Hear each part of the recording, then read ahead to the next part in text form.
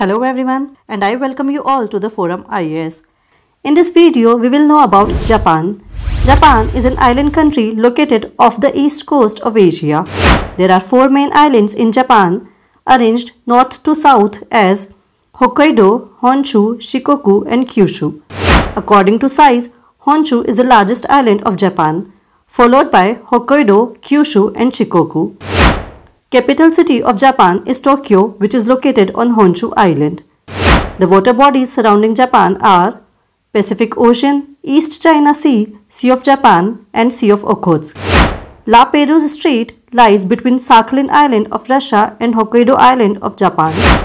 The Tsushima Island lies between Kyushu and South Korea.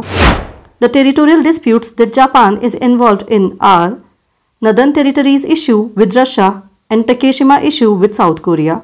Thank you.